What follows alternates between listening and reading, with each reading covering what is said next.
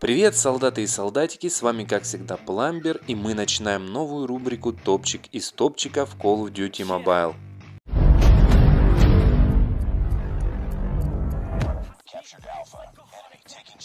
Друзья, ну а начнем мы, пожалуй, с трех топовых штурмовых винтовок, которые можно часто встретить в рейтинговых боях. Это BK-57, M4 и LK-24.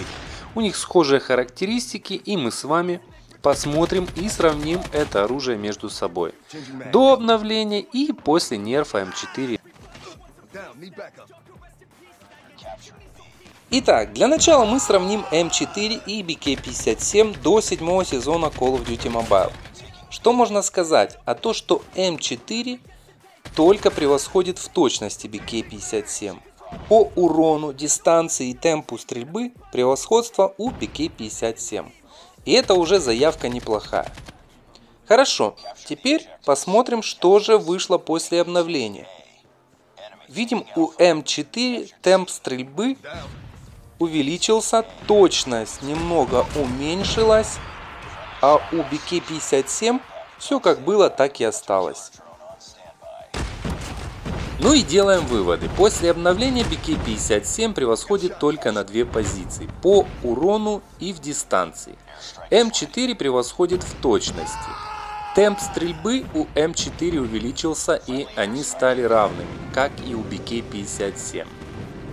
Ну а точность, друзья, это немаловажное для начинающих игроков. Давайте разбираться дальше и сравним BK57 и LK24. Здесь уже интереснее, почти все характеристики равны, и эти орудия не намного превосходят друг друга. BK выше по урону и темпу стрельбы, LK выше в точности и дистанции, но разница не очень большая в показателях.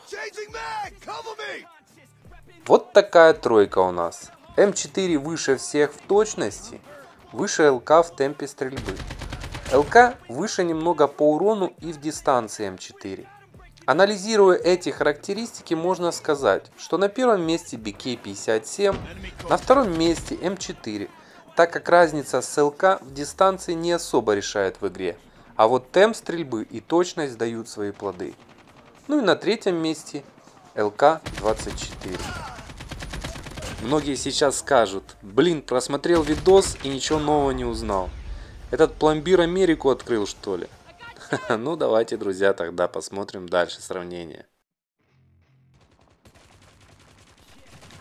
Как нам видно, BK57 и LK24 имеют большой разброс.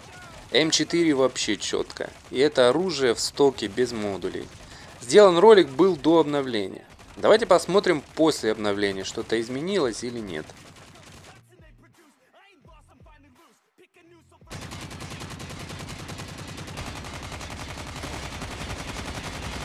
Как мы видим, бойцы, BK-57 и ЛК-24 разбросом особо не радуют. Как он был большой, так он и остался. А вот у М4 разброс еще меньше стал.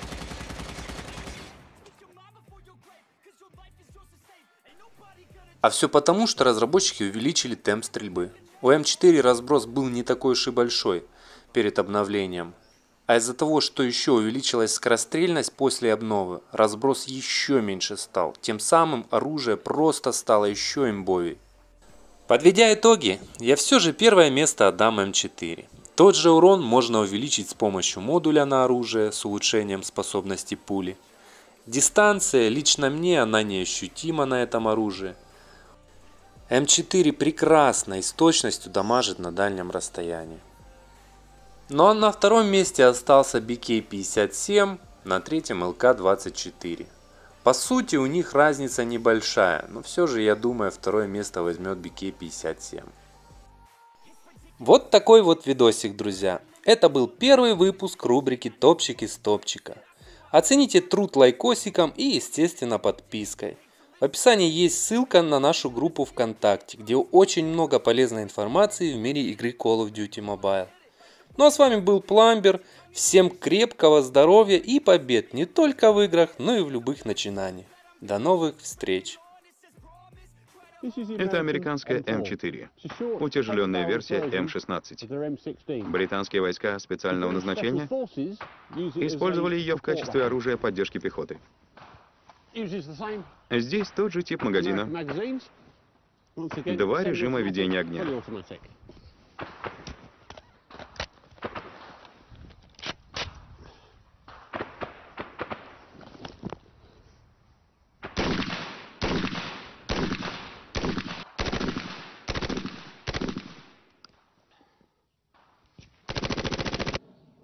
Очень эффективное оружие.